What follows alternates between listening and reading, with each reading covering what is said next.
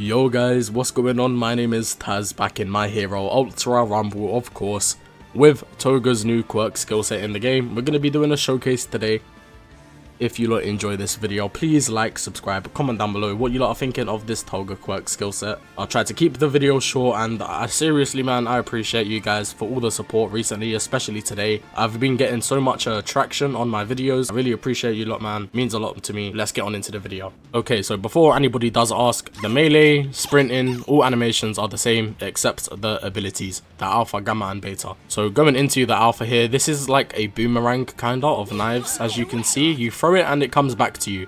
And you can spam this quite fast and it does, as you can see, a lot of damage. Also, for some reason, if you throw the knife, it comes back and it like travels a lot further backwards than it does uh, forwards, as you can see here. Wait, does it?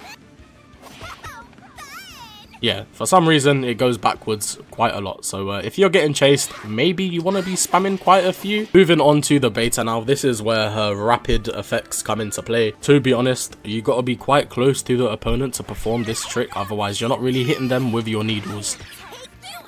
But you have uh, two of these at level 9 and I'm pretty sure at level 1 also. Yeah, you do. And uh, it's a good little movement trick, I guess you could say. It's a very annoying trick, especially against like people, uh, Aizawa, people that grab and stuff like that, it's going to be hard for them to, it's going to be hard for them to keep track. Let me know what you lot are thinking of this uh, beta ability here. Moving on to the Gamma now though, this is her movement ability, I will say. You can go in any direction with this. This is the ability that you will take to get opponents' blood. Opponents'? Did I really just say that?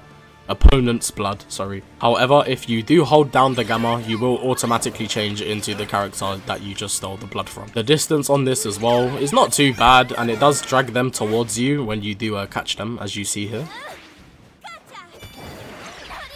That is insane, bro. There's going to be some crazy combos with Toga, man. You can do it from a really far range as well. I wonder if you can catch him at the same time.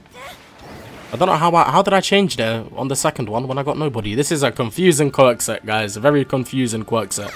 Yeah, let me know what you lot are thinking of this quirk set. We're going to go live in about an hour's time playing with Toga and also Present Mic that I've also showcased in another video now. Go and check that out, guys. As you can see here, we've got the wrong skin on, so you can't see it, but we do have his official animations in the game. I don't really need to showcase this right now anyway. Anyways though guys, if you lot did enjoy this video, please, please like the video, comments down below, subscribe also.